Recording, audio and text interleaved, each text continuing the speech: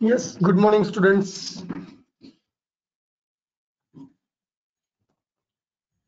We'll wait just for a minute, let others join, then we will start the session.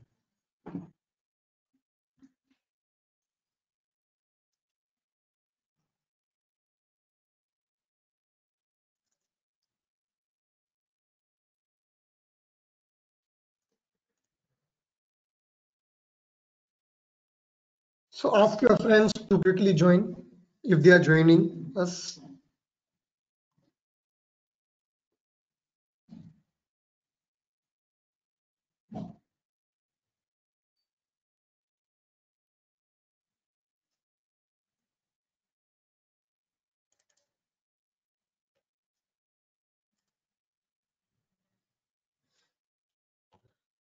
So my desktop is visible to everyone.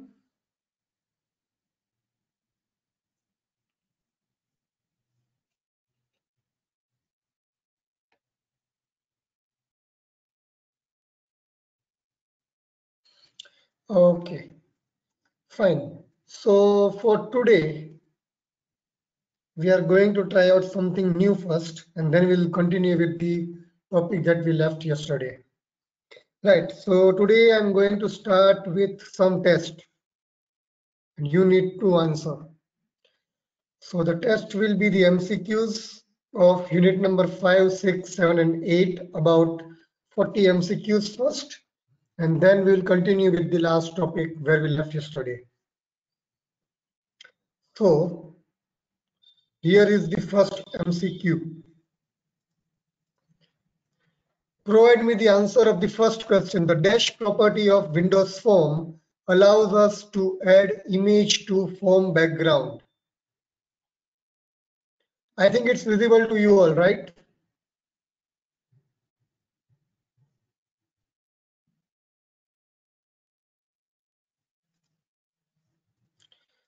Shall I zoom it?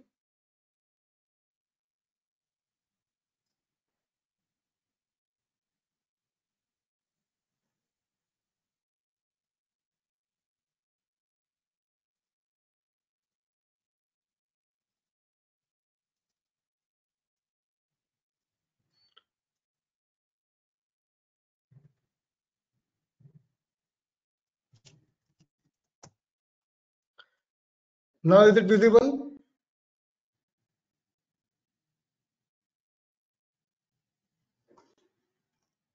Yeah, so give me the answer of the first question that I'm highlighting right now. There are options with you, so you don't have to go with your own answer. Use the options available with you.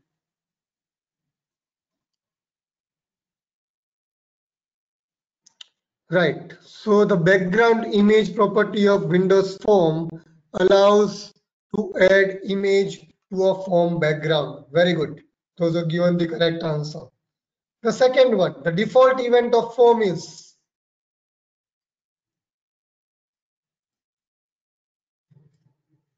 okay. Okay, I'm getting some answers from you. No, the default event of form is A, that is load event, not the execute. Moving on to the next, the default event of text box in Windows Form is.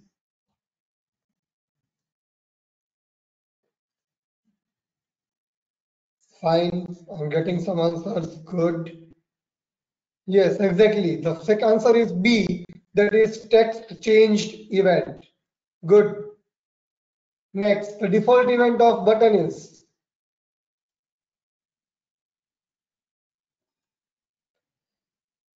Yes, exactly. C, that is click event. Next, the default event of label is.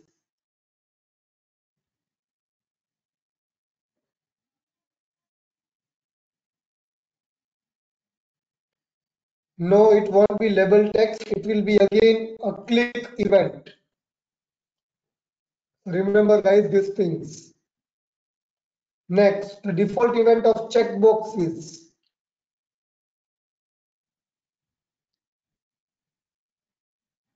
Yes, exactly. Checked change, that is B. Next, the default event of combo box is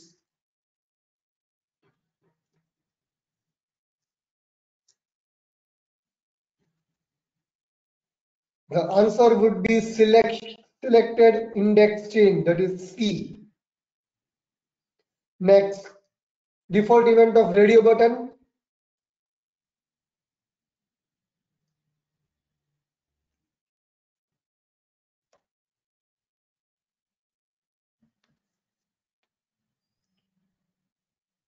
some mixed answers I'm getting. The answer will be A, that is check changed. Next, the dash property of any control allows the user to change the text. Okay, yes.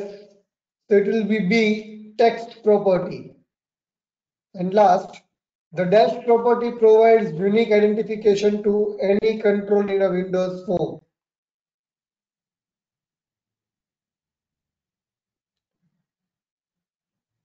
It won't be C, it will be A, that is name property.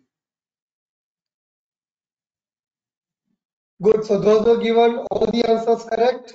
Four or three claps for themselves. So moving on to next unit, that will be unit number six, that is GDI.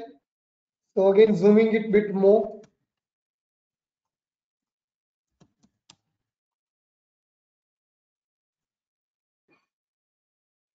So the first, in GDI, D stands for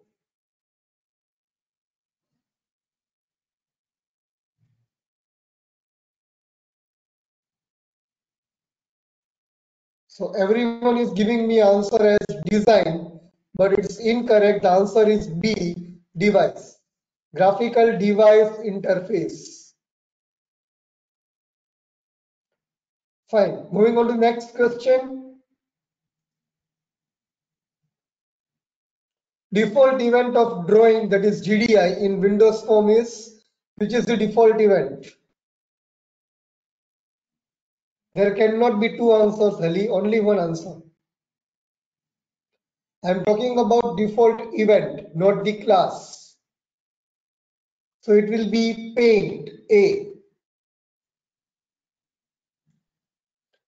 Next, the method that allows you to draw ellipse is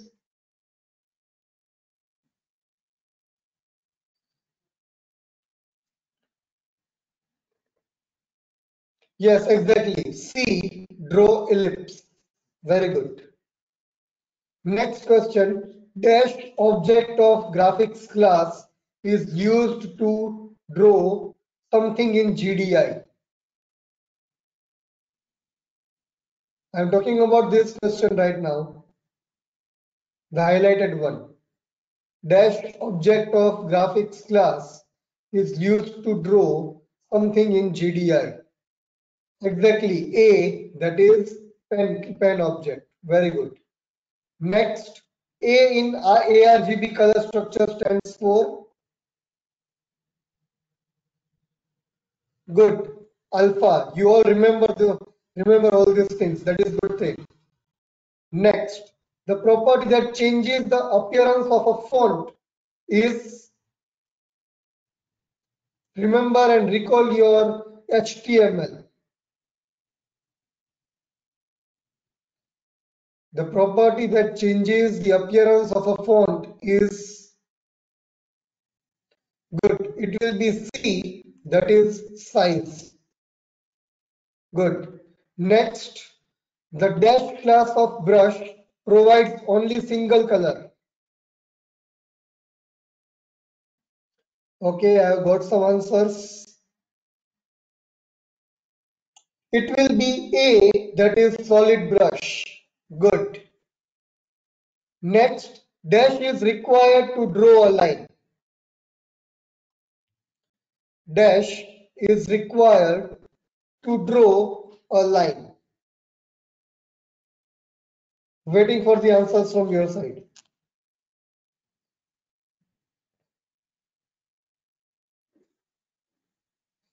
Fine, it will be B, that is coordinates. In short, point 1 and point 2, but we call it as coordinates. Very good. Next, GDI resides in dash.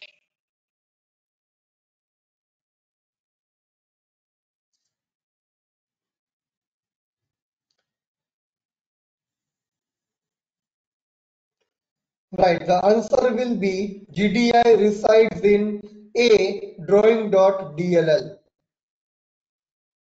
So remember this thing, A drawing dot drawing.dll. Next, GDI is mainly used for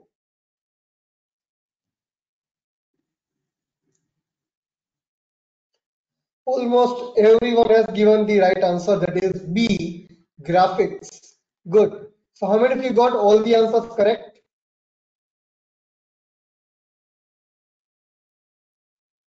No one. Oh, about eight answers correct.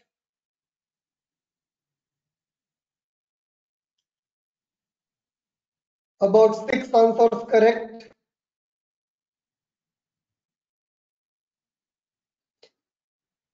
Five answers.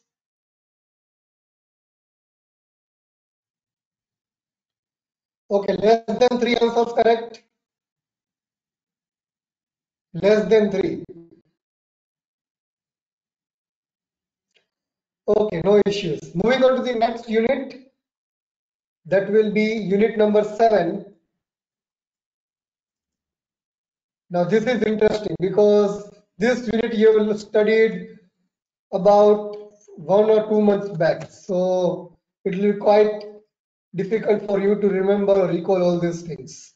So moving on to the first question. Full form of ADO is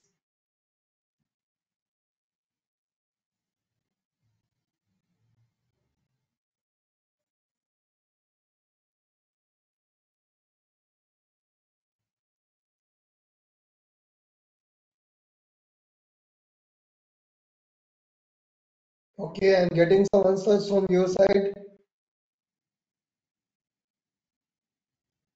Fine. So the full form of ADO will be, remember students, there are two answers, active data object and ActiveX data object.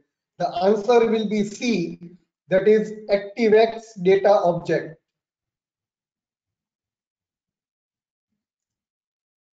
So remember this, everyone. It will be ActiveX data object. Next, ADO.NET supports dash architecture. So those who are raising the hands in between, kindly provide your answer in the chat box.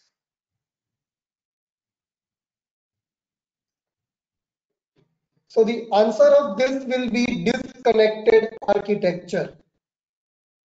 If I write here ADO supports, it will be connected. If I write ADO.NET, it will be disconnected architecture. Remember this thing. Next, which of the following database is not supported by ADO.NET?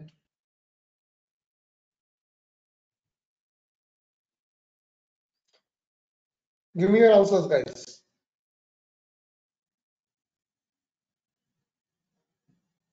Okay, someone is given A, SQL, OLEDB, Access, SEQL. So the right answer will be D, SEQL. Right? Fine. Moving on next. Which namespace is required to use SQL Server in .NET application?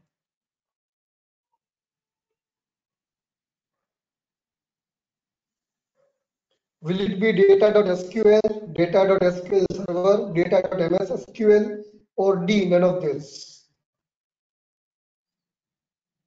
So the answer will be A, system.data.sql only. Next, Dash is the most important component for performing database operations in any .NET application. Will it be queries? Will it be connection string? Will it be input output or none of this? Almost each student has given me the right answer that is B connection string. Very good. Next, ADO.NET uses dash for data conversion.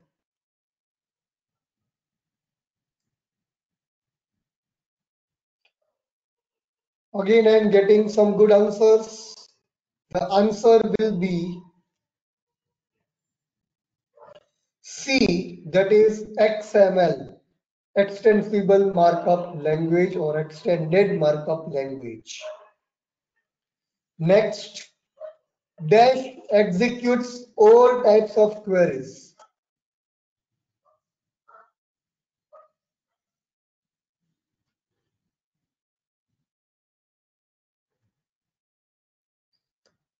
Exactly, I'm getting some good answers and correct ones. The answer will be B, execute non-query. Now, if you recall this particular term, execute non-query, we are using this particular term for executing only insert, update and delete query. But it is also used to execute select query. But we are using SQL data adapter for select query. But it can execute select query too, so it is the right answer. Next, the dash method of connection class provides actual connectivity with the database. I should get all answers correct from your side. Everyone should answer this one correctly actually. I'm getting some mixed answer, but the answer will be B, that is open. So open is the method that connects your application actually with the database. Next, which among the following is not the part of ADO.NET architecture? Come on guys, now this is tricky. You need to recall the architecture for this.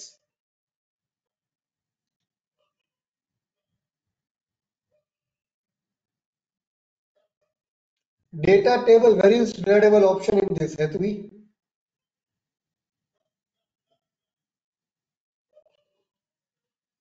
Right. So the answer for this will be A, that is data connectivity. Connectivity is not the part of architecture. Data adapter class is a part, data set is a part, and SQL command class is a part of ADO.NET architecture. So data connectivity is the right answer.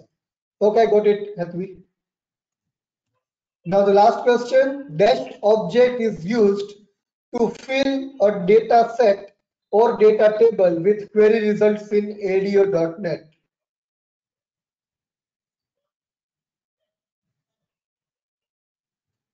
Getting some mixed answers from you, your sides.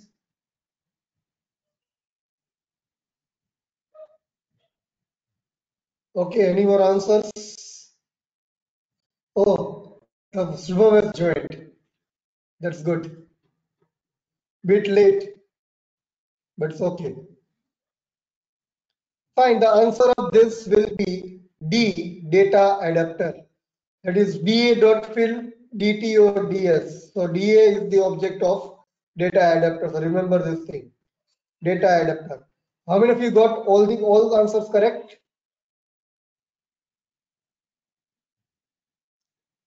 More than eight answers correct. Good, Krunal. Between five to eight. Good forum. Good to win. Okay, between three to five. Yuvraj has got six to eight answers correct. Very good. Between three to five. Minimum three, maximum five.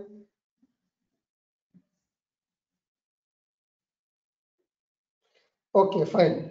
So moving on to the next unit that is unit number eight, WPF. Let's see how many remembers this one now.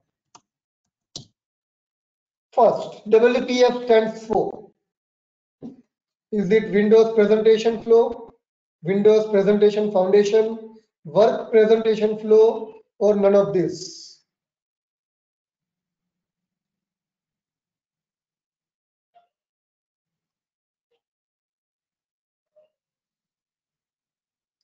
Getting some mixed answers, guys. Be quick.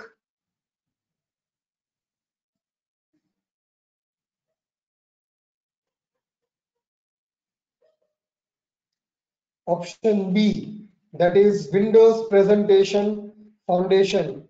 Almost everyone's given this answer to me.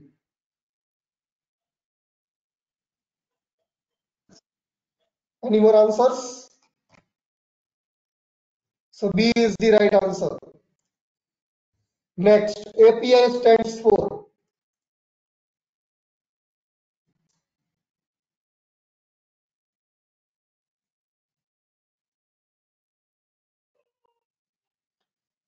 Okay, getting some answers from you. So the full form of API will be Application Programming Interface, that is C. Next, XAML stands for.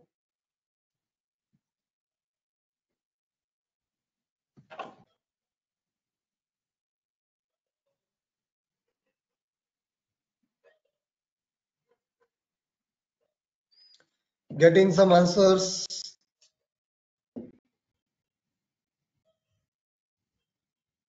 So the answer will be B, that is extended application markup language. It won't be extendable, it will be extensible if it's if F is here, then it's right. So it will be B, that is extended application markup language. Yeah, extensible, but I have not given any option like extensible here. So I said yesterday or day before yesterday that either it will be extended or extensible. It's tricky question. You will directly go with the option without uh, listening it. So it's quite tricky. Moving on next. Dev executes and manages WPF applications. Of course, you all know this one. So it will be CLR, that is common language runtime. B will be the right answer. Okay, moving on next. Try to recall the WPF architecture and answer this. Dash is not the part of WPF architecture.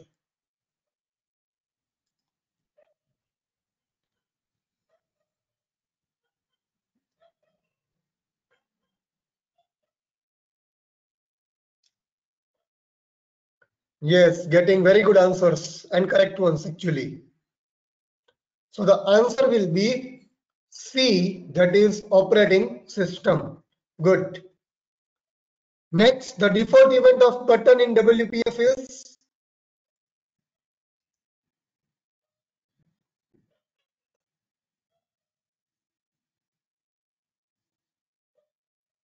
Very good. All answers are correct. That is C, that is click. Next, default event of text box is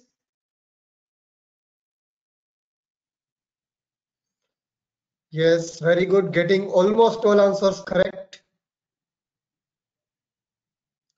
The answer will be text changed event of text box. Very good. Next, the default event of checkbox is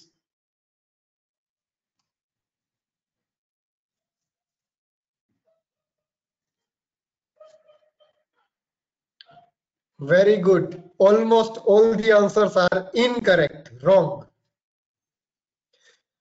The answer will be checked. That is A. I already said at that time that remember that there will be some change in the events. So it won't be same as your Windows forms. So it will be checked event of checkbox. Next, the default event of combo box.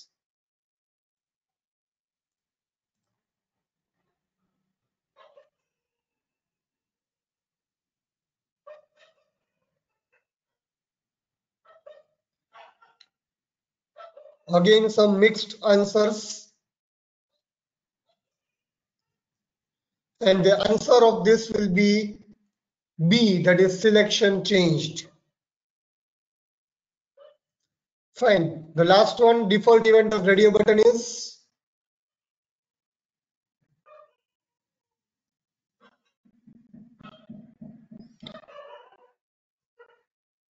Remember one thing, either in Windows Form or in WPF, the events of checkbox and radio button will be same always. So in Windows, the event of radio button is check changed and in WPF, the event is checked. So this is the right answer. How many of you got all 10 answers correct?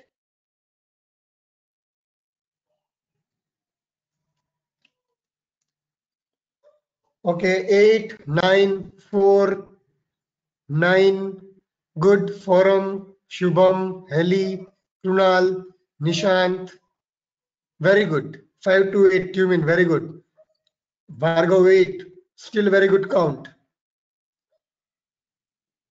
Okay, students, shall we go for unit number 1, 2, and 3 MCQs first? Would you like to go for it? Give me some answers quickly.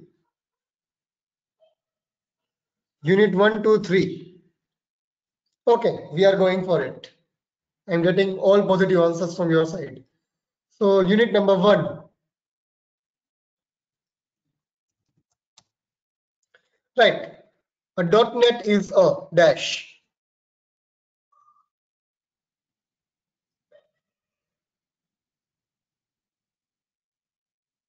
It's a tricky question.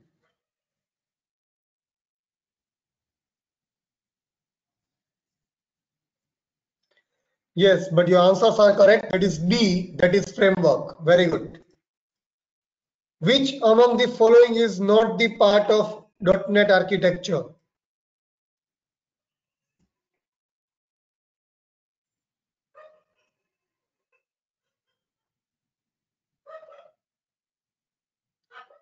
Guys, FCL stands for Framework Class Library.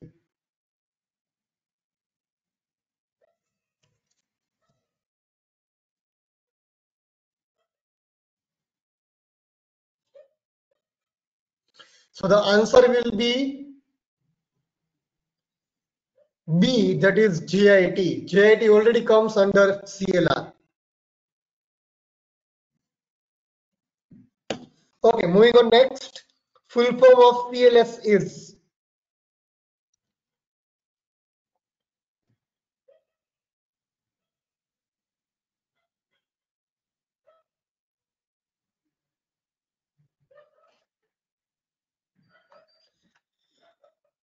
again some mixed answers. It will be D, that is common language specification.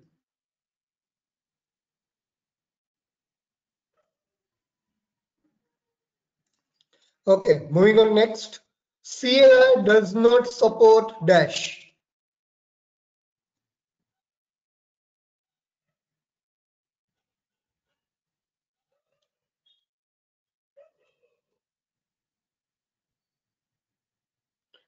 I'm getting some answers from your side. So answer will be A, that is automatic code development. Very good, those who given the right answer. Next, which among the following is not the .NET version? Now this is tricky. Don't be hasty in giving the answer.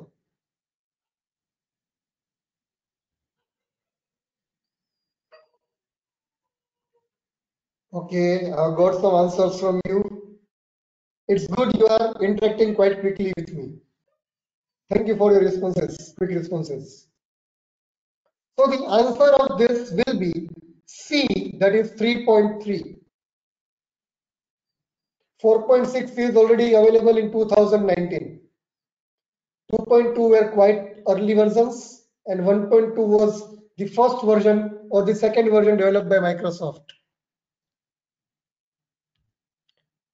Next, moving on next, which among the following is not the type of just-in-time compiler? I think TC1 and TC3 might not give, not be able to give this answer. I think pre-jitter, normal jitter, econo jitter or post jitter. TC2 and TD1. Yes, exactly. It will be post JIT. There is no term called post JIT in just-in-time compiler. Very good. Those are given the answer. Especially TC1 and TC3. Next, which among the following executes .NET code? Is it CLR? Is it MSIL? Is it CTS or CSL? CLS?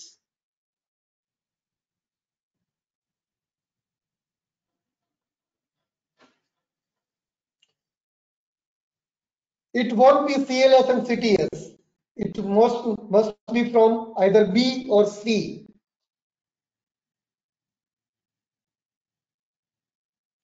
So the right answer will be CLR, Common Language Runtime. Sorry. Next, CLS dash is an execution engine for all .NET application it is similar to JVM in Java, defines standard rules for defining .NET compile compliant languages, or it is a compiler. Getting all the answers correct from you. Very good. Everyone has given the right answer. That is C, defines standard rules for defining .NET compliant languages. Very good. Those are given the right answers. Keep it up. Next, Features of automatic memory management in .NET means what?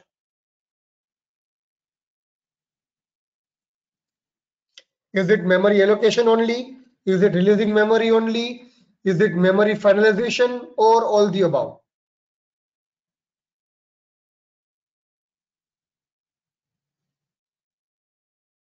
The answer will be exactly D. Very good. All answers are correct except one. But again, he has corrected the answer. So good. Next, the last question of unit number one. What is CTS in .NET? Common type specification for you or common type system. The full form I have defined for you.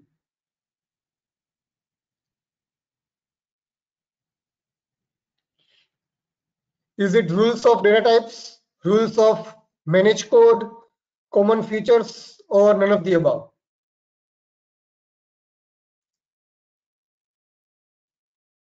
Fine, the answer will be A concerning data types rules. So how many of you got correct? All correct? 10 on 10? Anyone? Forum has got 10 on 10. Very good forum. Then Shubham has got 9.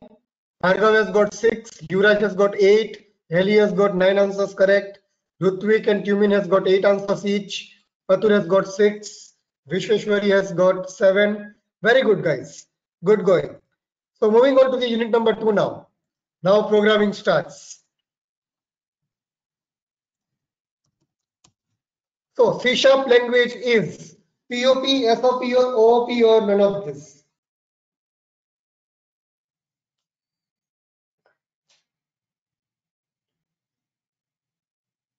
I should get all answers correct. Now what is this X, Bhargav? Okay, fine. Typing mistake. I can understand. Right. So everyone has given the right answer. That is OOP, Object Oriented Programming. Next, which among the following is not the part of C Sharp data, data types?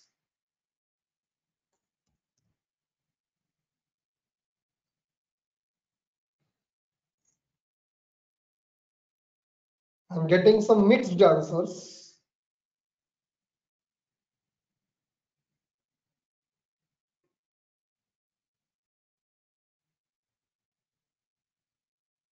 Right. So the right answer will be A, that is bit. Bool, double, and char are the part of C sharp data types. Next, what is the correct syntax of declaring main function? Now this will be quite interesting for me. Who can give me the right answer?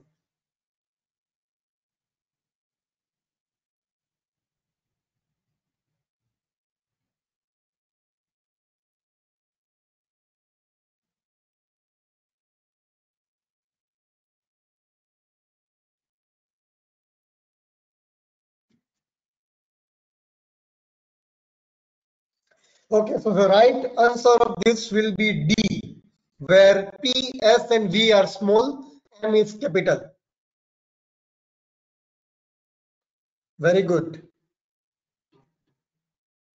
Moving on to the next question. Conversion of variable of lower data type to higher data type automatically is known as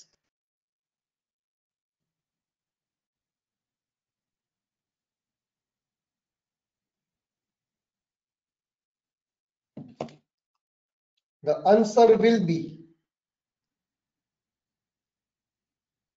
B, implicit conversion. Very good.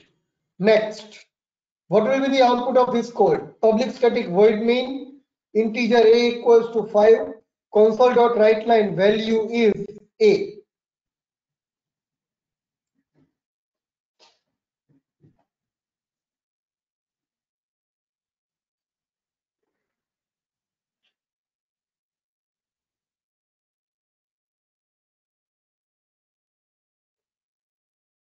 The answer will be error. It won't print 5 or address of A. Next, what is the correct syntax of taking an integer input? Now again, very good, tricky question.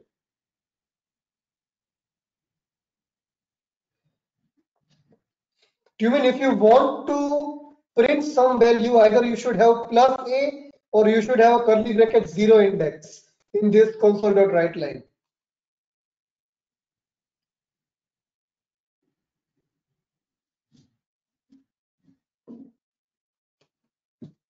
So what is the correct syntax of taking an integer input?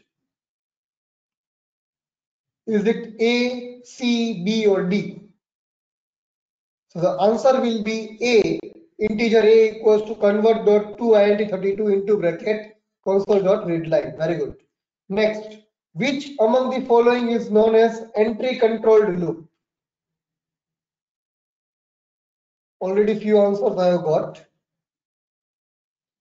Kindly read the question entry controlled loop. So it will be B that is while loop. Next dash is known as exit controlled loop. Quite easy for you all.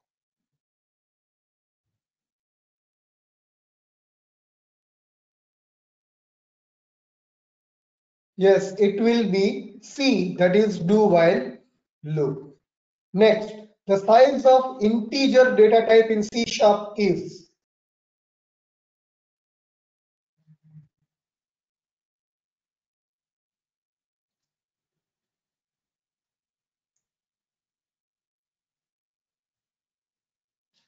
Guys, try to recall the first or second lecture of C sharp. It will be 4 bytes. Answer will be 4 bytes. Good. The last question. What will be the output of the following code? Public static void main i equals to 0 i less than 5 i plus plus console dot write i.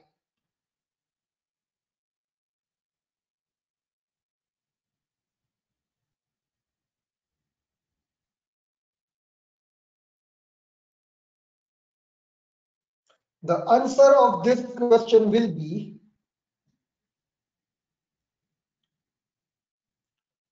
D that is 0, 1, 2, 3, 4 in a continuous sequence not with a space because I have not defined any space here in the question. Good, you mean very good. So D is the answer. How many of you got all correct? Anyone? Lucky guy getting all correct. Nishant 8, Yurat 7, Shubham 9, Heli 9, Forum 8, Rutvik 8, Atul 6. Harsh has got 10 on 10. Very good, Harsh. Vaishwari has got eight. Tumin has got seven or eight. That's okay. Bhargav has got zero. Why Bhargav?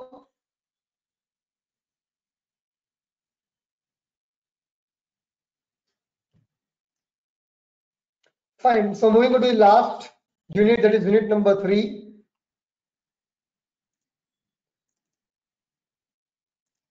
And then we move on to the next topic of unit number four. Last two topics of unit number four.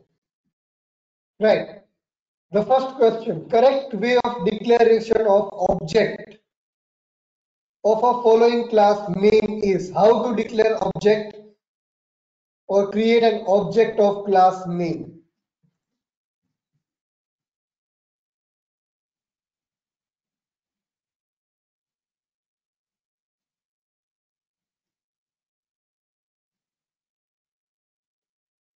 Right, so the answer will be C, that is name n equals to new name.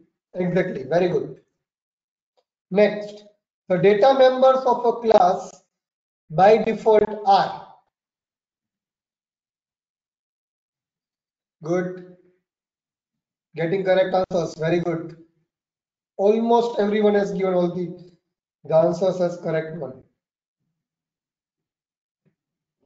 It will be D that is private. Next, what will be the output of this code?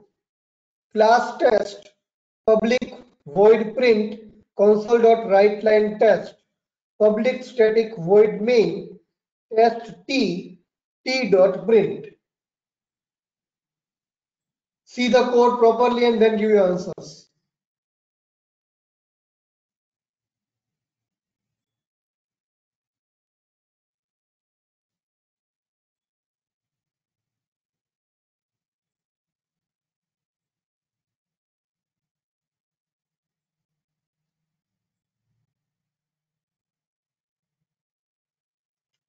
Here the object has been created but not has been invoked or initialized. So this particular method won't be called by this particular object. So it will be error. Good. Moving on to the next question. What will be the output of this following code? Public static void main integer i equals to 5 double j equals to 45.78 I'm calling two functions fun of i and fun of j. Public static void, sorry, public void fun double d console dot write line d. What will be the answer?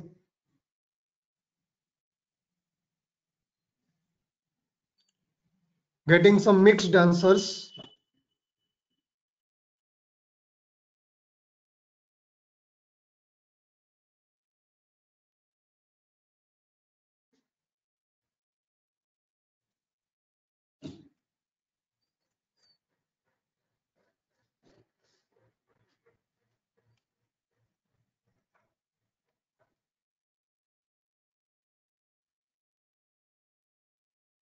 So let us check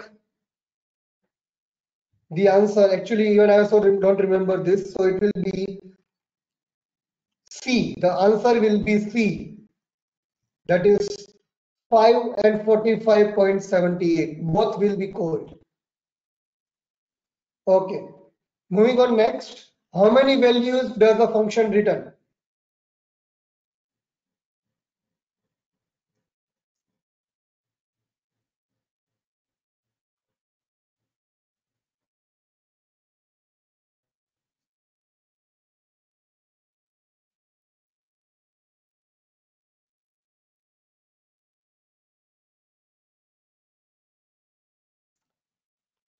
Yes, the function mainly returns one value, a.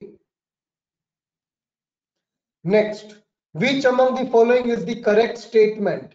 Constructors are used to initialize the objects, construct data members, both A and B, D, none of these.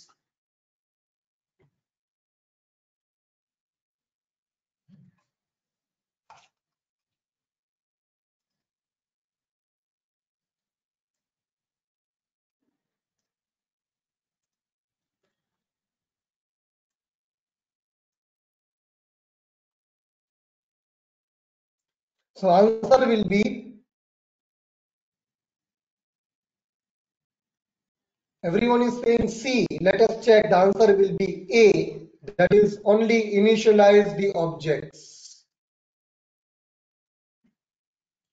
What is the return type of constructors? Quickly.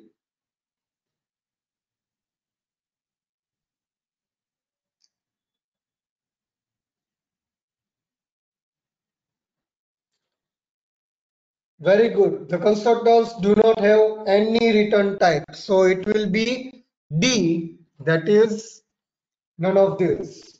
Next. Which of the following is the correct way of implementing an interface addition by class methods?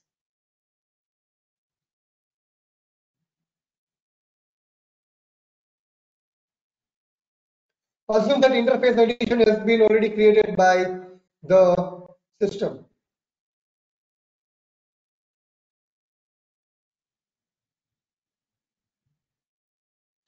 Will it be C or A? Quickly.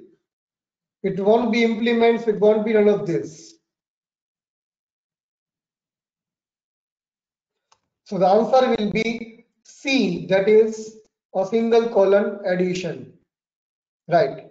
The next, a type of class which does not have its own objects but acts as a base class for its subclasses.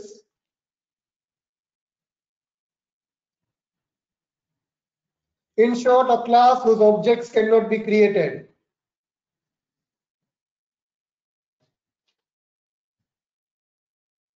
So the answer will be b that is abstract class.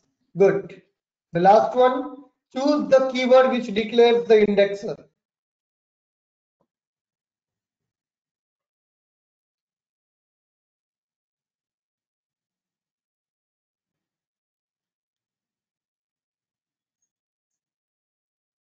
This is the keyword that declares indexer. So how many of you got all 10?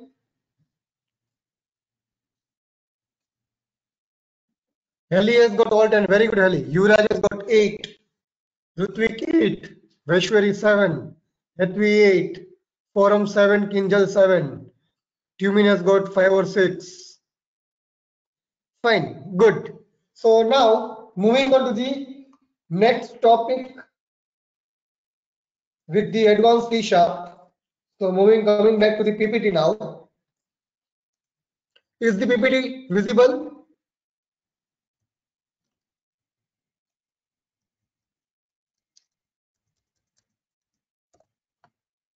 Is the PPT visible, guys? I already forwarded this, forwarded these MCQs in your question bank. If you see the question bank in your e-content, you will see all this MCQs in that. Ali.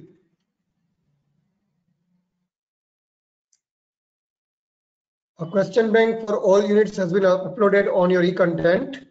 In that, you will see all these MCQs unit wise. Fine. So now, moving on with the topic, last few topics. So yesterday we started with reflection. What we said is reflection is the metadata of a program that is used to get different informations regarding the program like constructor info, method info, parameter info, property info, events info, likewise right? So these are the methods that we use in the reflection. Next, attributes are used along with the reflection and are declared using the angular brackets and are provided runtime to the compiler to know the behavior of a particular component of a class or the program actually. Events are something that are generated by users and that will perform some task when these events, these particular actions are generated. Next, delegate. Delegates are something for special methods that defines the rules of declaring a particular method in a class. That particular rule should be followed by the methods being declared in the class and is initialized or used using the class name and the method name by invoking the method object of delegate. The same way the delegates can be used in a different way using anonymous method. Instead of writing the class name dot method name, we are directly using the delegate keyword and calling the methods of the class without using the class name. So this is what we did yesterday. And now today we start with the collections. Now collections are something in C Sharp that actually stores the data in it. Now for data storage, we have different things. So collection classes are specialized classes for data storage and retrieval. This may provide support for stacks, queues, lists, hash tables, etc. So mainly we use system.collection namespace that provides rich set of collection classes and data as follows. The first one is array list. That means you store all your data in an index format starting from index 0 to n minus 1 index. Next is hash table. We use a key to locate a location for your value or data in a table. Then we have a sorted list. Again, we use a key as well as index. So all the particular values will be stored in a particular sequence that is in a sorted form. And for that, we are using index and key. Next, stack. You already know what is stack. Last in, first out, LIFO. So values are stored in LIFO format. Yes, only shortcut will be asked. Explain collections. You need to explain these six. Six are array list, hash table, sorted list, that is last in first out. Then queue that is first in first out. And bit array that means it stores all the values in the form of binary binary representation that is 0 and 1 so you can explain this in your own words. It's not compulsory that you use the all these words written in this ppt you can explain this in your own words. It will be okay for us. So array list, hash table, sorted list, stack, queue, and bit array are the six collections provided by .NET Framework for you in the application. Next comes threading. Now threading is something related with your operating system in which you provide the threads for execution mainly. So in this, if I relate with C sharp, your thread will be each program component. So the each program and component is executed individually and in the form of thread. So again, it's a theory threading. So a thread is defined as an execution path of a program. So whatever you want to execute in C sharp, that will be executed in the form of thread. So each thread defines a unique flow of control if your application involves complicated and time-consuming operations, then threads will be useful component to differentiate execution paths and for faster execution of your program. Threads are lightweight processes. Now for exam point of view, this question will be important. Thread life cycle. So thread life cycle starts when object called system.threading.thread has been created in your class and it ends when your program terminates execution. Now it has mainly four states. The first state is unstarted state. It is a situation when the instance of the thread is created, but it is not started yet. Yes, we have created the object of thread, but we have not given it a command to start or execute. Second is ready state in which the thread is ready to run and waiting for CPU to provide a cycle to execute. The next is not runnable state. That means a thread is not executable. Now thread is not executable when either it is in sleep mode, either it is in wait mode, or it has been blocked by some other operations. And the last state of life cycle of thread is dead state. That means your thread has completed exec execution or has aborted due to some errors. So this four state you need to explain in the exam for either four marks or eight marks. I don't know exactly for what marks I've asked you in the exam, but it will be either for four or eight marks for sure. So these four states you need to explain. Other than this, whenever you create an object of thread, it will create one main thread. The thread will be working and will be the parent thread for all the child threads in the program. So the main thread is responsible for execution of your program here. Right, so thread creating using the thread class are called child threads and those child threads will be given to the main thread for execution mainly. Now, what are the properties of thread class? Again, an important question for you. Properties are current context. So it gets the current context in which the thread is executing. That means in which mode this thread is executing. Either it is in unstarted state, either it is in ready state, not runnable state, or dead state. So it gives the current context of a thread. Then current thread. It will give that which thread is executing right now. That is current thread is background. Get or sets a value indicating whether or not thread is a background thread or not. Sometimes you may require some background thread to execute your current thread. So this will check whether there is any background thread or not. Then next is is alive whether a thread is execution or not, or whether the execute it will get a value indicating the execution status of a current thread. Not much. There is not much difference between thread state and context property. Thread state is the life cycle part and context property fetches the thread state actually.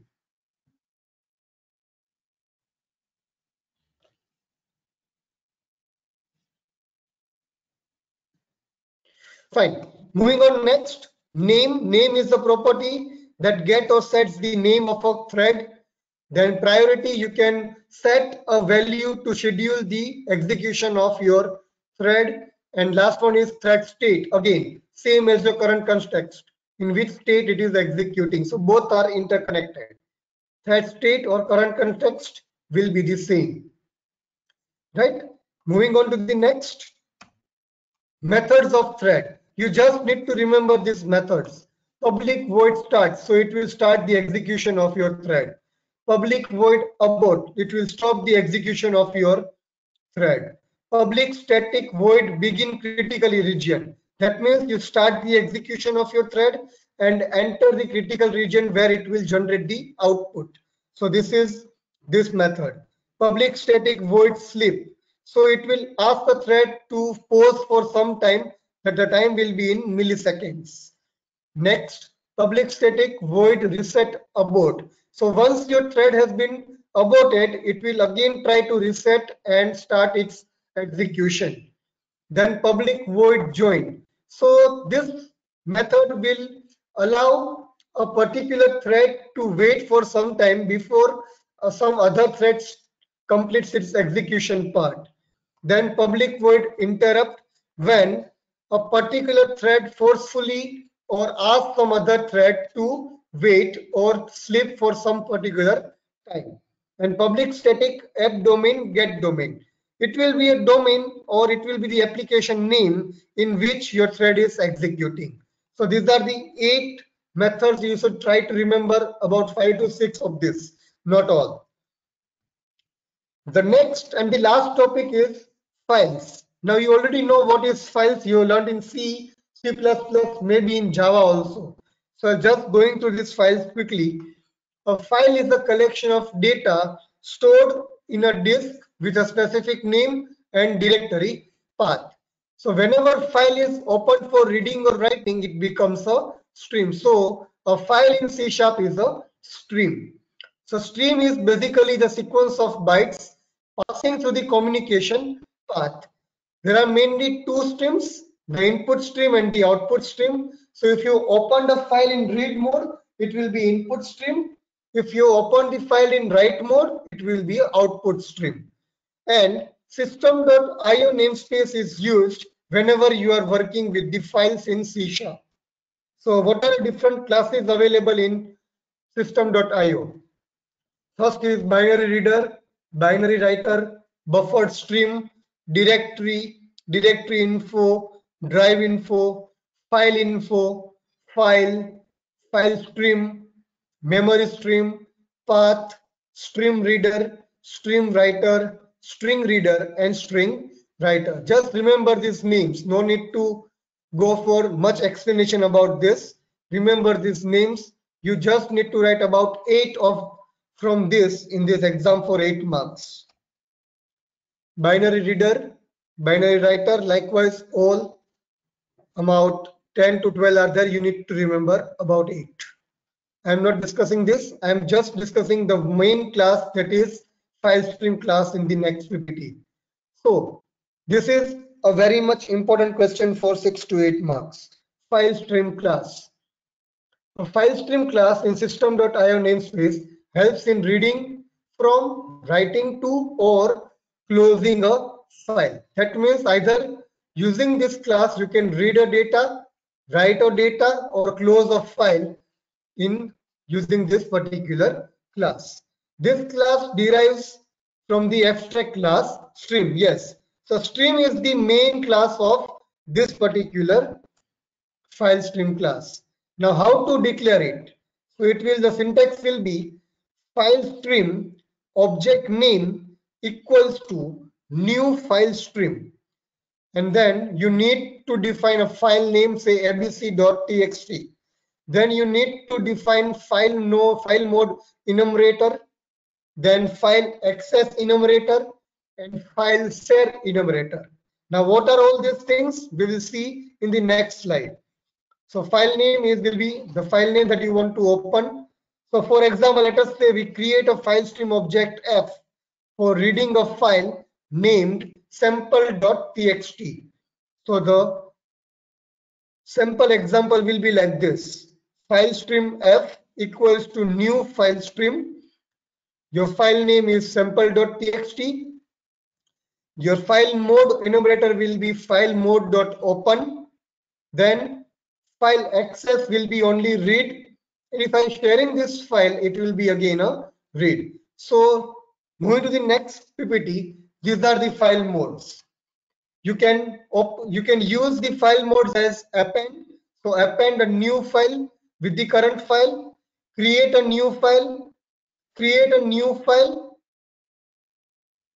It specifies to the operating system, not with the hard disk. Then open, open or create or truncate. That means you remove all the content of a given file and create a fresh file. That is what truncate stands for.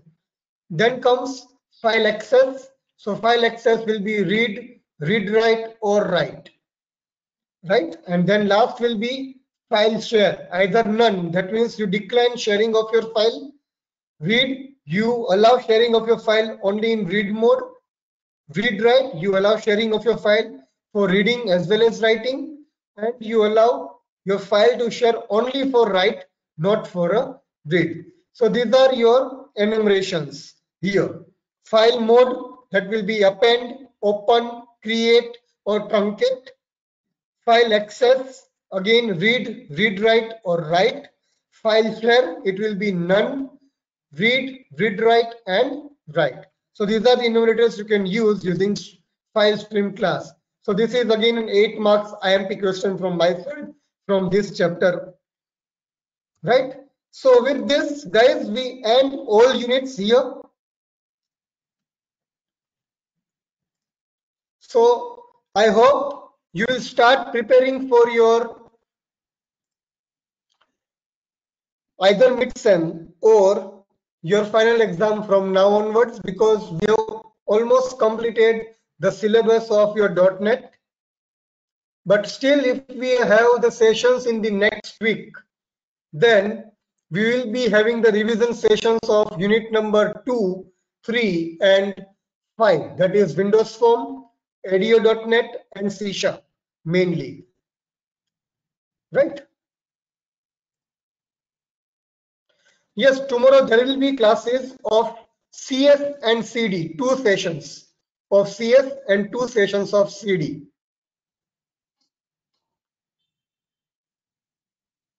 Yes, Happy Madam will be conducting the CD sessions tomorrow and Snail sir will be conducting sessions of uh, CS tomorrow. 9 to 11, there will be one session of CS and one session of CD. Again, 11.30 to 1.30, one session of CS and one session of CD. Right, guys? So start preparing.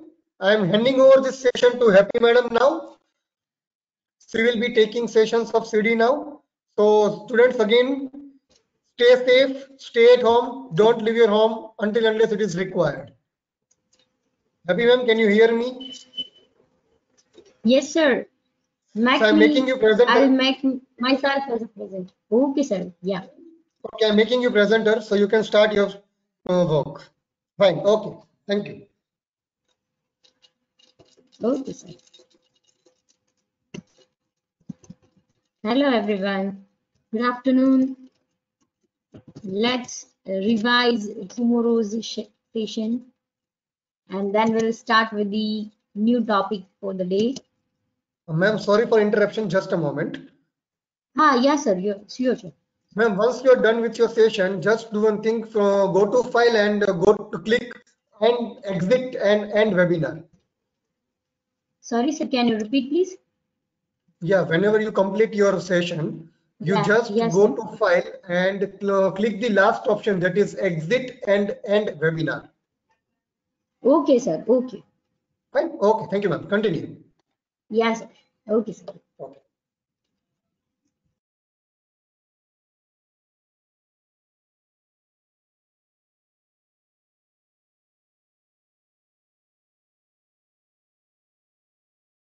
Everyone, am I audible? You are, Yes. Oh, let's uh, revise the things from the two, yesterday's lecture. Okay. So the actual position of your code generator fees in the compiler, that is the last phase of your compiler, as well as it will give you the target program in terms of your machine understandable code, right? So the main task of your code generation is instruction selection, register allocation, and assignment, as well as the instruction ordering. Okay, so there is uh, one task for you that just give me the name of design issues of code generation, right? Write down the issues, design issues of code generation phase. Okay. Yes, I'm audible. So you can write your answer in the question itself. Okay, register allocation. Good.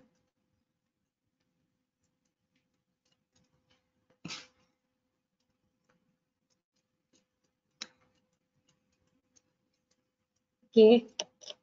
Yes. Everyone just write down the okay instruction selection. Yes. Register allocation instruction selection. Really good going.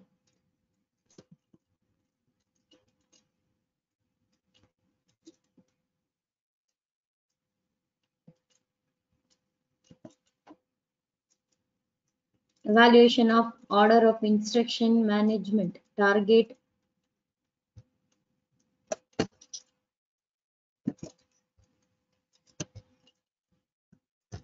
Target program memory management, Hatvisha. Good.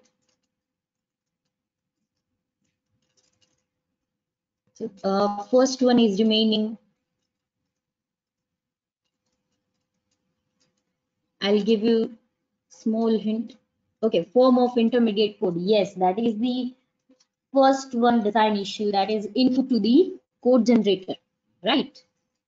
Okay. Now the second question, write down the forms of intermediate code. Write down the forms of intermediate code.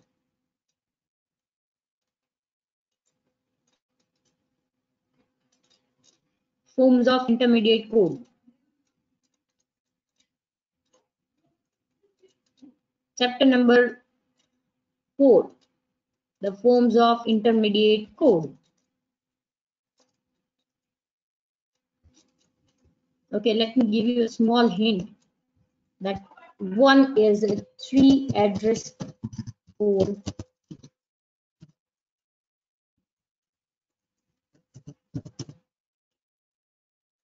three address code postfix syntax directed tree. Okay, that is syntax directed definition. A cyclic graph, directed acyclic graph. I think only Heli and the Hetvi.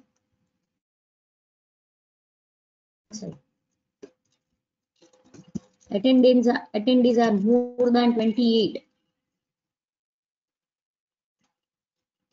Mehul, Nehal, Parth, Riddhi, Shivam Giri, Tumin, Panil. Okay, you don't know the answer or you don't want to give the answer.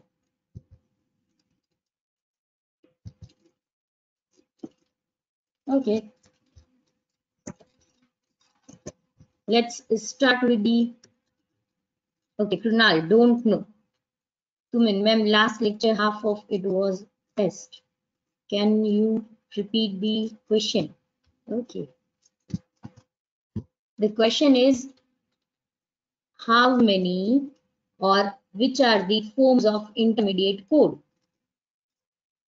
Forms of intermediate code, that is three address code, postfix notation, and the last one that is syntax directed definition SDD right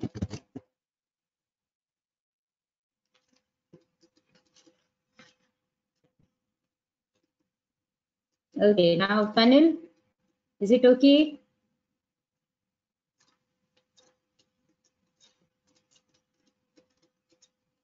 Okay. Now so yesterday we completed up till the fifth number that is register allocation right? So what is the input to the code generation? We uh, as we all aware with that the three address code generation sdd as well as postfix the forms of intermediate codes are always the input of the code generation phase now the second one that is the target program. So uh, we just need to revise small things that is how many uh, types of target program we have that we have a different types of uh, forms output. In output variety of forms are there. That first one is absolute machine language relocatable machine language as well as assembly level language right? Now what is the absolute machine language? As we were discussed that executable code right? Uh, that is known as the absolute machine code. And it can be placed in a fixed memory location or you can say it is not relocatable code right Yes, very. Okay. No, that is not a binary language code, but that is the machine understandable code, or you can say the assembly level code, which is understandable by your assembler. Okay. So that is known as target level code. That uh, you can say a lower level language code, which can understandable by your machine. Okay. So that is the output of your code generation phase. Okay, panel.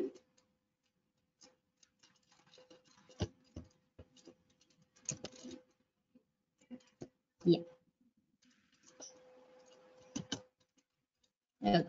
Now the what is a relocatable machine language code? So you can say your uh, obj file for a linker is known as the relocatable machine level uh, machine language, right?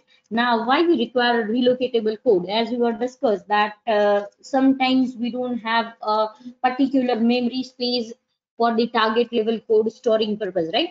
So at that time, we just need to transfer or we just need to relocate our code for the separated memory location.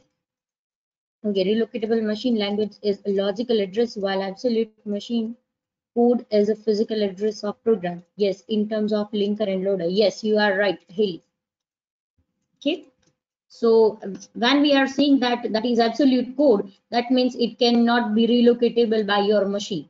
And if there is something like linker and a loader concept in, in that terms, you can say that your code may be uh. Okay, why? Because our linker can join or link the different types of memory locations program to the one program.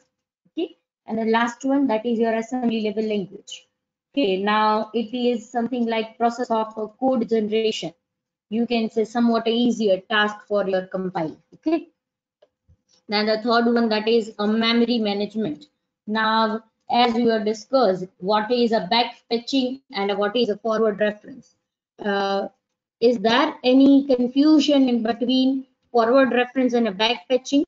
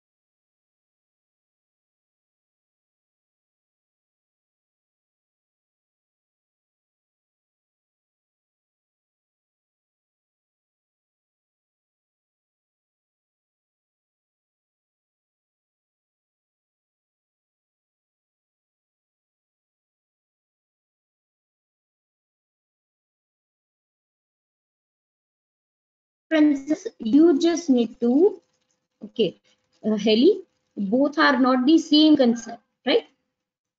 Okay, am I audible?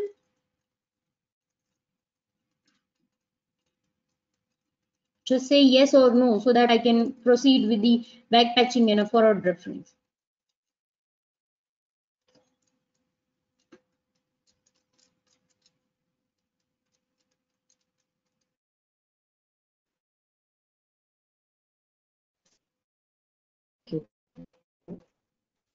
And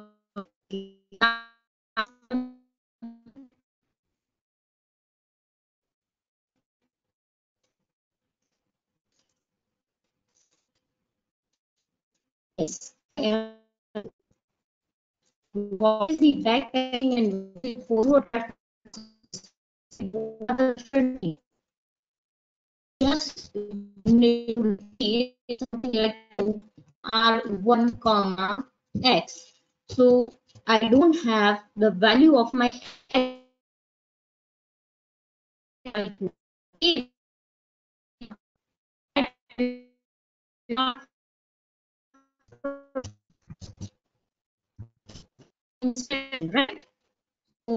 this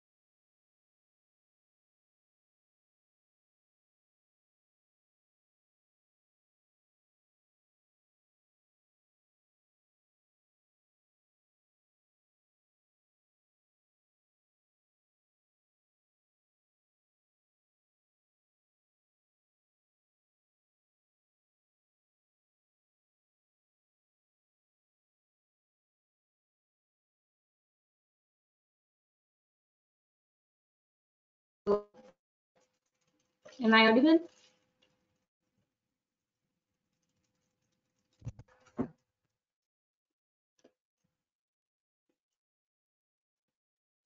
Hello? Start again. Okay. I think right now I'm audible.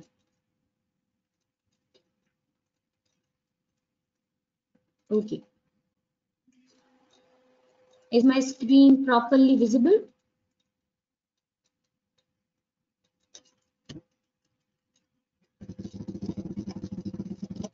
Okay, so if we are seeing that what is the forward reference, then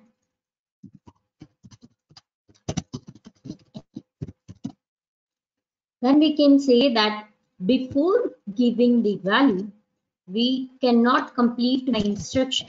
So at the running process, that R1 comma, I cannot give the value of X right now over here. Why? Because I just, once I'm completed with my uh, uh, whole code, the declarative statements are at the end of your assembly level code, right?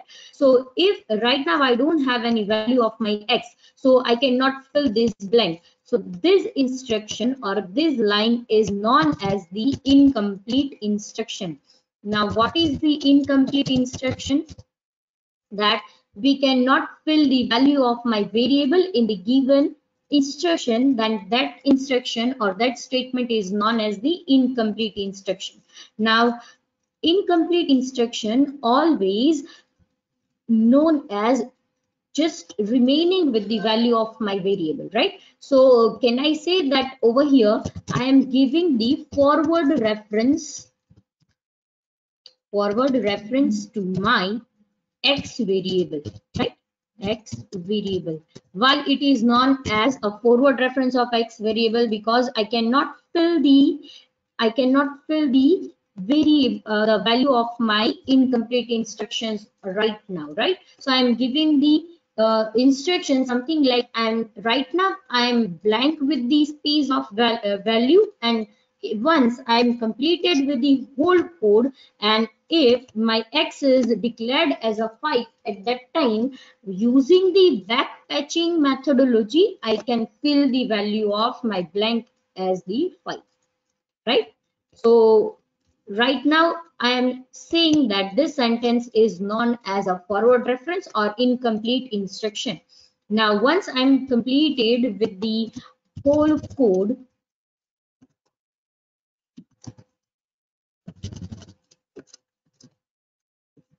and right now I have the value of my 5 variable, right? So now I can replace this blank with the 5 now this methodology is known as the backpatching. Okay. Am I clear with the what is backpatching and a forward reference methodology?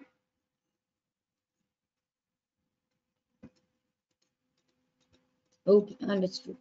Okay. Everyone, Tunal,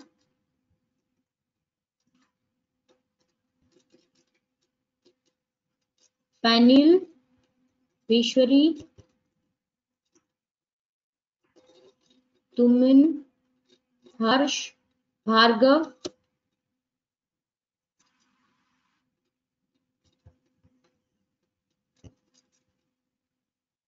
Okay, similar to computer architecture. Yes.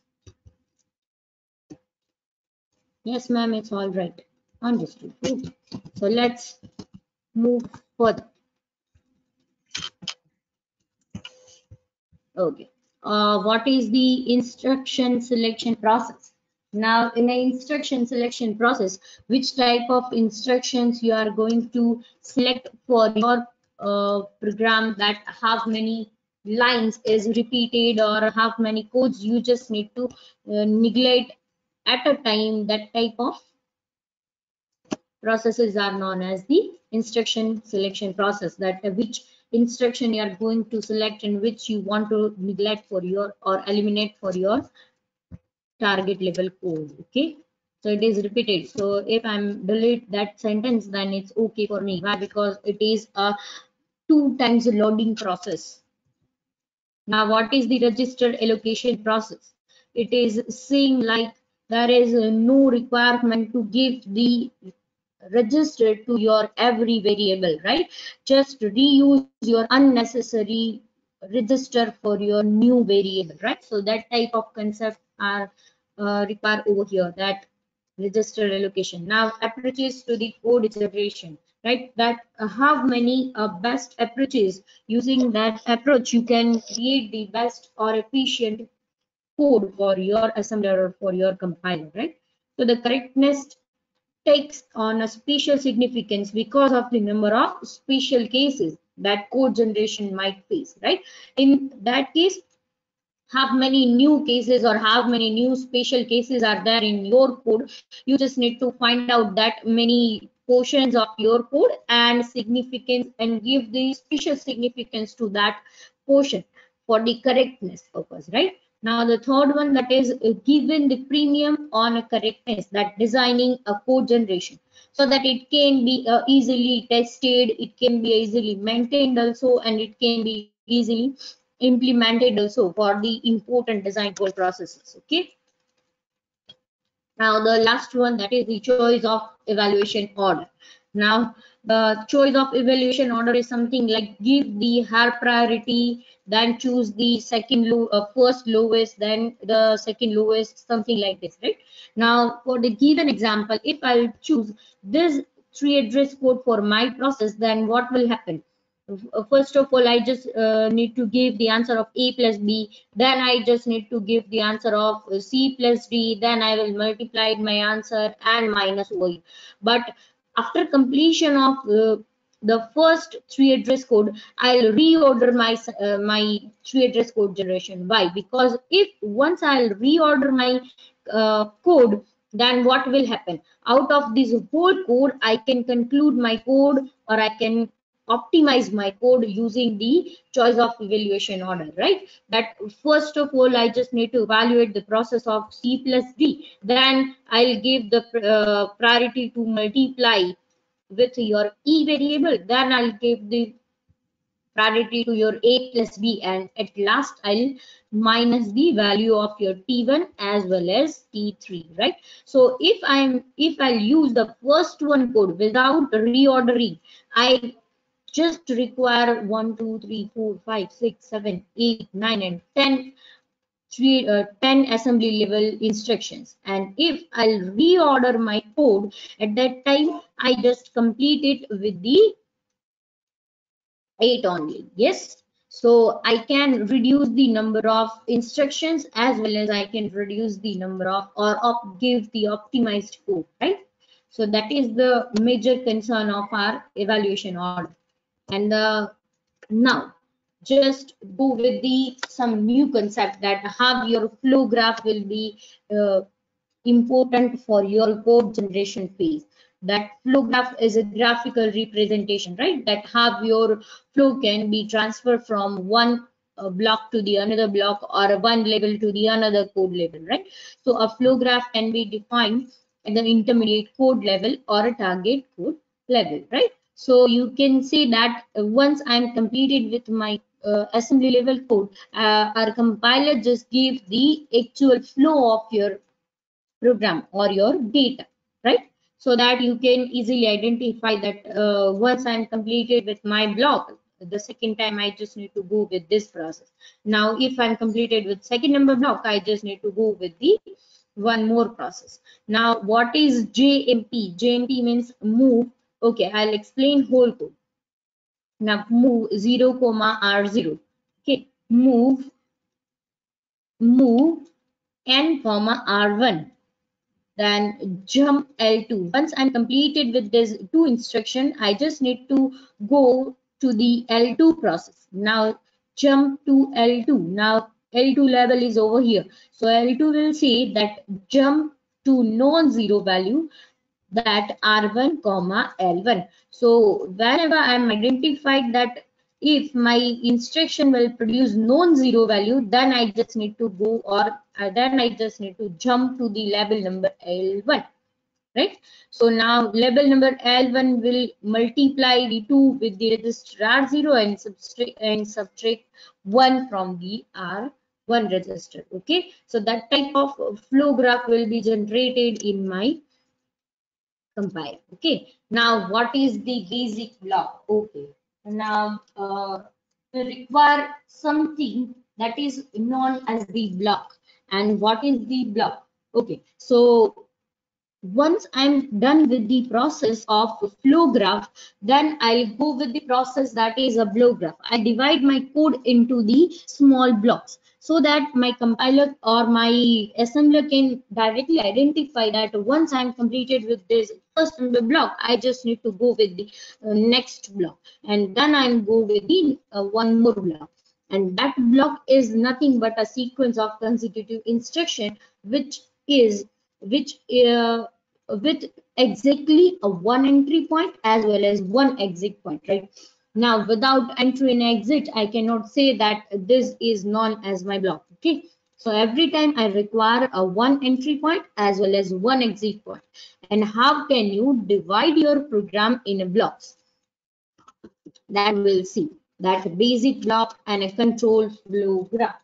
So that process is known as the uh, you just need to know that how your basic block is compiled or how your basic block can be generated using your code, right? So we have a, some uh, some algorithm to divide my code in a basic block. Okay. So once I have completed with the target code, I just need to go the go with the flow graph, right? And what is control flow graph? We are already completed in the code optimization chapter, right?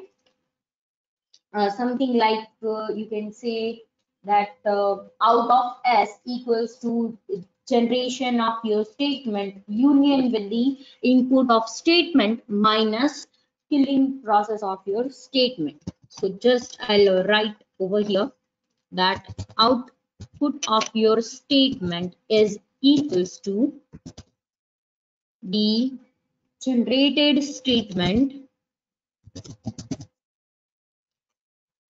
union union the input of my statement minus killed process of statement is known as the control flow control data flow analysis process right? So using that you can just give the notation or just give the flow that from one block to the third number block and third number block to the second number block i just need to transfer my flow. Okay? So up till now is there any doubt?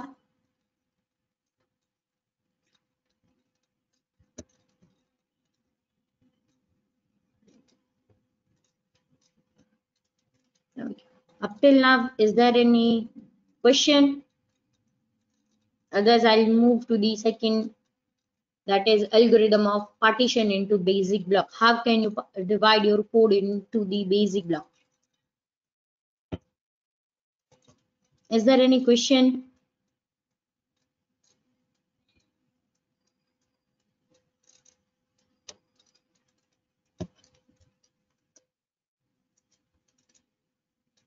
No man okay let's start with the algorithm of partition into basic block.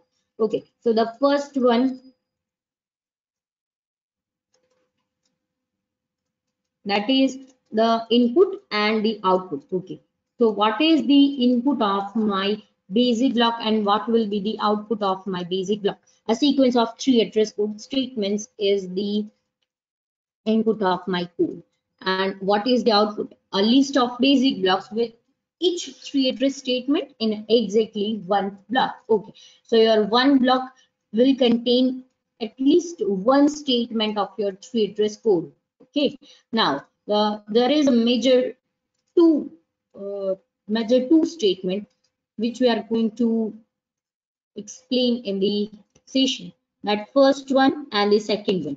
And the first will contain major three sections that is uh, how you can decide a leader of your code how can you decide the uh, end end point of your basic block okay so let's start with the first one Okay, first, first of all, we first determine the set of leaders, the first statement of basic blocks, and the rules we use are of the following.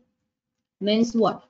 The first statement related basic block that how can you decide which one is going to be a leader of your or the entry point of your basic block. So we have a major three conditions. So the first condition that is the first statement is a leader. So always your first statement of three address code is going to be a leader of your first basic block, right? So second one, any statement that is the target of a conditional or unconditional go to is going to be a leader. That means uh, if there is any statement related with your go-to condition, either it is conditional or it may be unconditional. Uh, then also you just give to named as you are the leader of your basic block. Okay. And the second condition is any statement that immediately follows a go-to or a conditional go-to statement is also going to be leader. Right.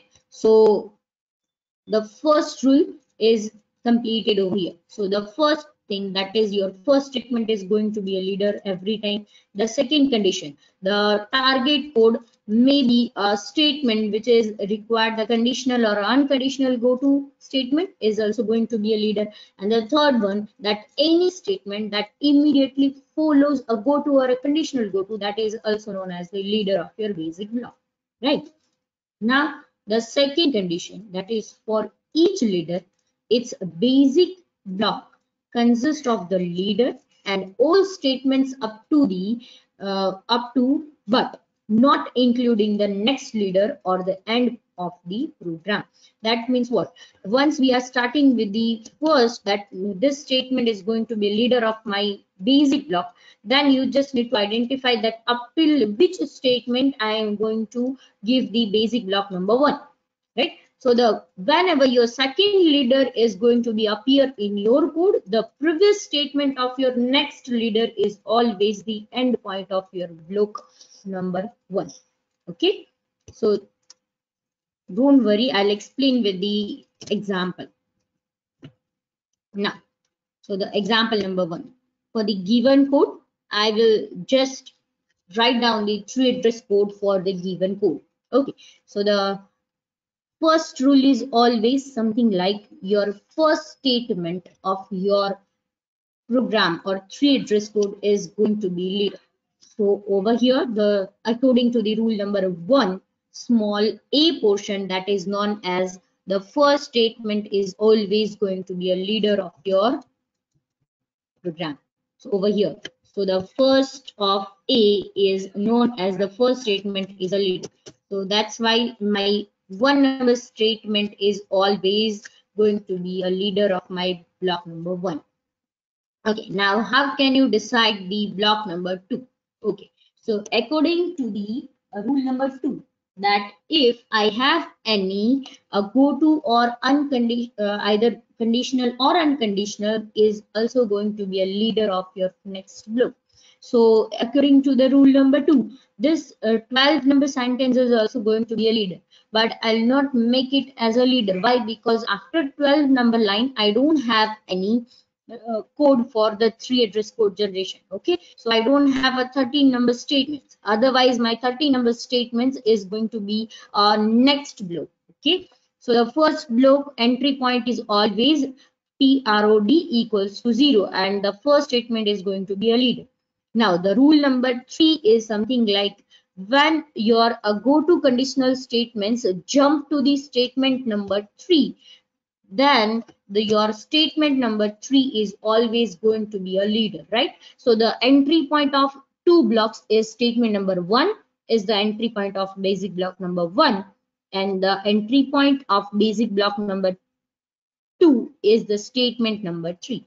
So can I say that my first block include are two statements with the one leader and the basic block 2 is contain other 10 statements with the leader is statement number 3 okay. So up till now am i clear with the what is going to be a leader and what is the basic block? So now my code is divided into the two basic blocks. The first basic block is block b1 and the second one that is block b2 okay Yes or no? Am I clear with the how to partition your program into the basic block with the one entry point and a one end point?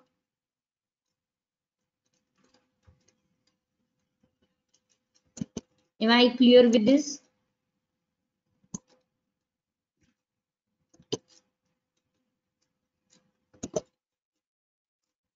Okay, yes, Nishan. Anyway. Okay. Yes. Okay, let's start with the over here, right? So your control flow is something like uh, starting from your first basic block, your flow is going to be converted to the or going to give the block number two. And after completion or after you can say a completion of your if loop, right? So your basic block is always complete till the block number seconds uh, last statement that if i is less than or equal to 20 when this condition is going to be wrong your compiler is going to be terminate over here and your process is stopped over there right? So your control flow graph is something like this okay? And now you just need to give me the total how many leaders are there in your program? How many leaders are there in your program? Given example number two. Okay just give me the answer. So which statement is going to be a leader of your program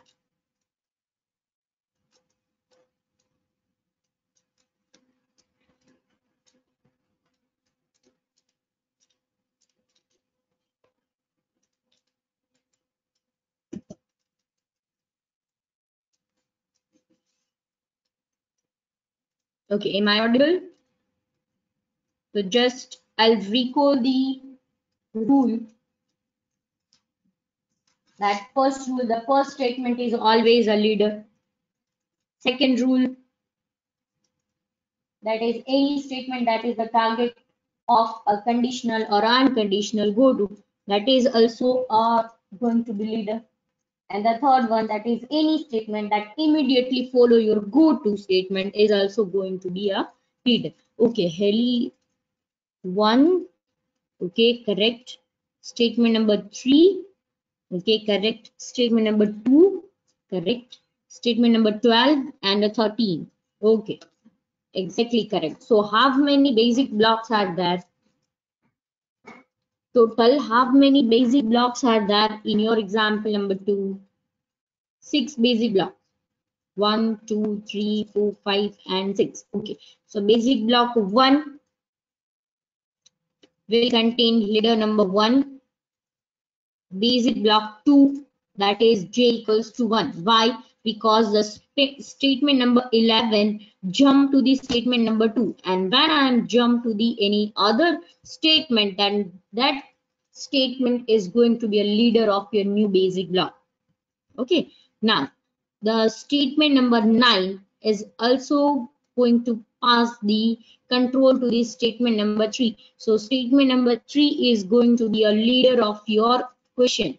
Okay. As well as it will contain a basic block starting with the statement number 3 to the statement number statement number 9 okay? Now your statement number 10 is also going to be a leader of your new basic block. Why? Because every time if you are considered that my basic block is, contained statement number 10 and 11 so the entry point or the first statement of your new basic block is always a lead okay now, the statement number 12 is also going to be a leader. Why?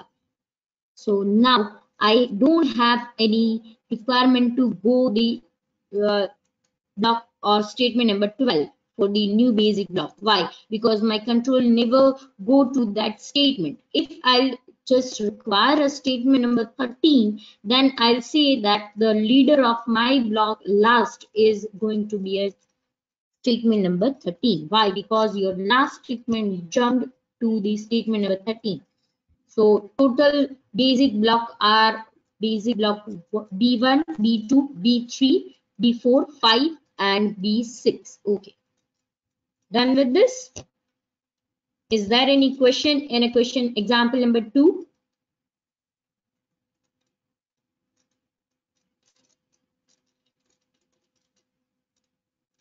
Okay, so we'll move further with the next topic.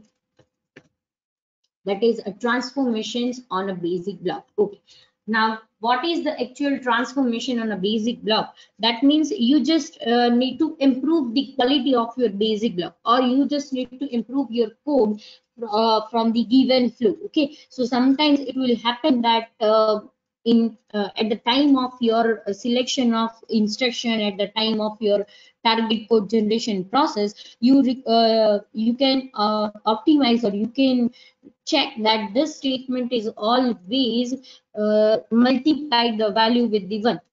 So if i remove that type of statement from my basic block and I, uh, if i give the new basic block for that question so that i can directly optimize optimizing each block. Yes optimizing each block is the transformation of your block or you can say the improving the quality of your program. Okay so there is a major two types that is to transform the basic block. So the first one is a structure preserve preserving the transformations and the uh, second one that is the algebraic transformations.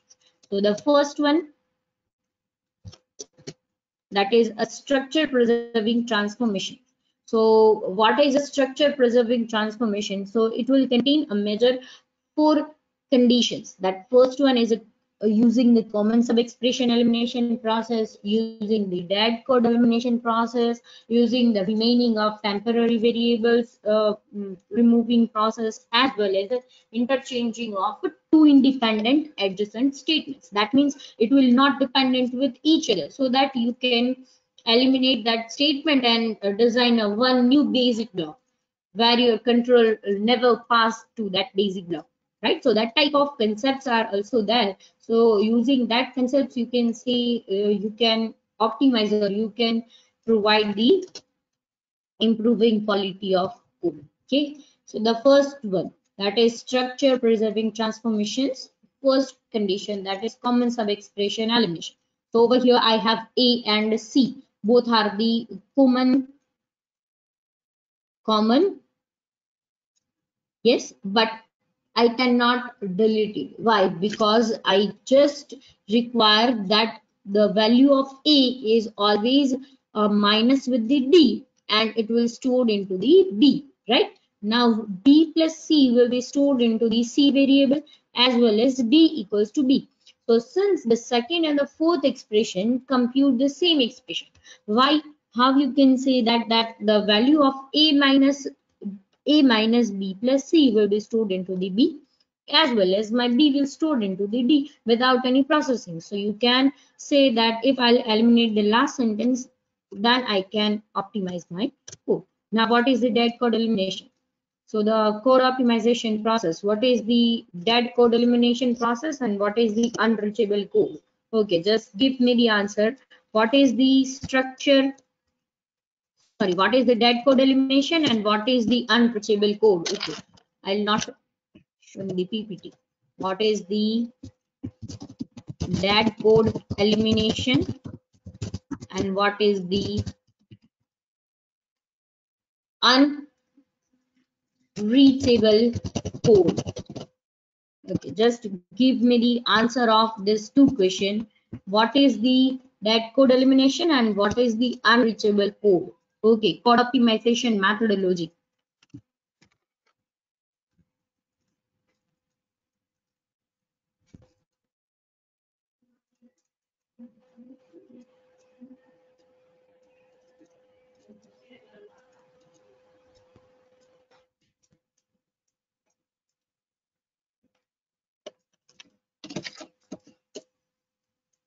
Okay, so that code is not needed or unwanted code, while unreachable code is code that we never reach up to that code. Okay, good. Anyone wants to add? Okay, yeah, three. Dead code elimination or code never gets executed. Very good. Okay, yeah, three. Good going.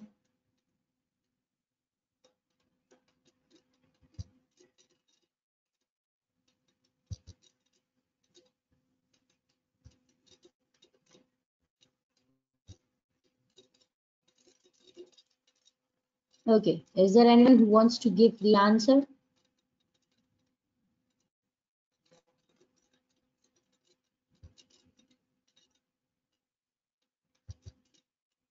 Nishant But the code will end with some statement is called dead code and unreachable is called as a never reached code. Nishant, the code will end with some statement is called dead code. No, your first statement is wrong and unreachable is called as a never reached code. Okay.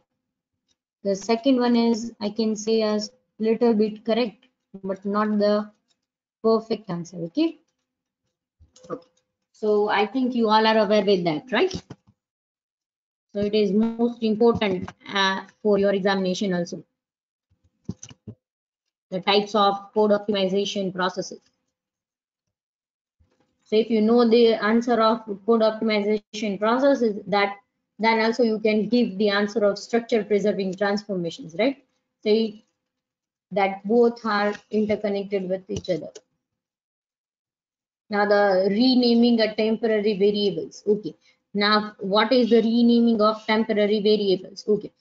So consider any other statements that will contain answer something like S1 as double one as triple in a some basic block, which are using a temporary variable with the same value.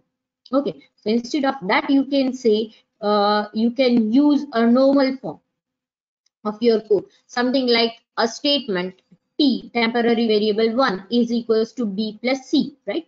Can be changed to u equals to b plus c. That u is a new temporary variable.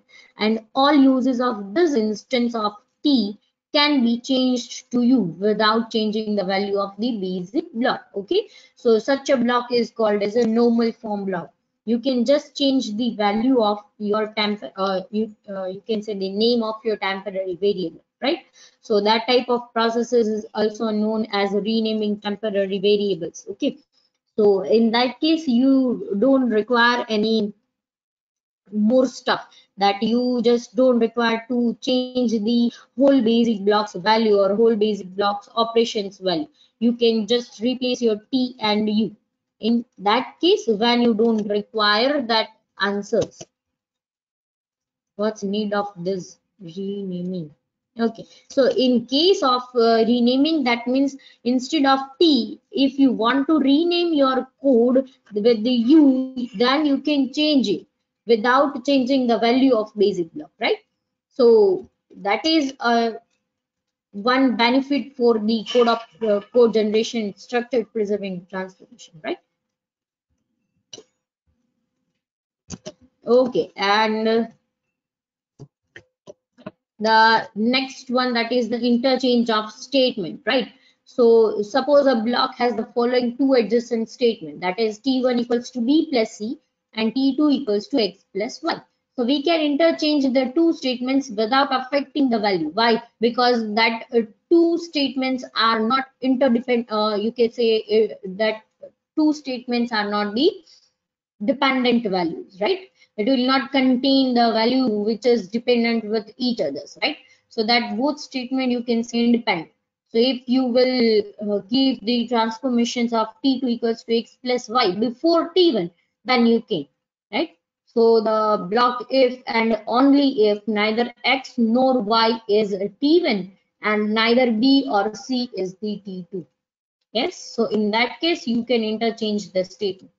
Okay? So right now I'm conclude with the session. Okay, just uh, let me know that if you have any doubt in the previous chapter that is code optimization, then just ask me so that I can revise that chapter in the next upcoming sessions, right? So tomorrow we have two lectures. So if you have a doubt, then one session is only for the revision purpose and one is only for the this chapter's uh, continuous process okay? So just let me know if you have any doubt in the code optimization chapter. So i just refer the e content i'll uh, i already uploaded that chapter in the e content ma'am tomorrow we having a holiday. Please give example of this transformation to understand better in the next session okay I'll do that, Heli. No, tomorrow tomorrow you have uh, two sessions with the compiler design as well as uh, two sessions with the CS, right? So sir is also informed you regarding this. Okay, Nisha?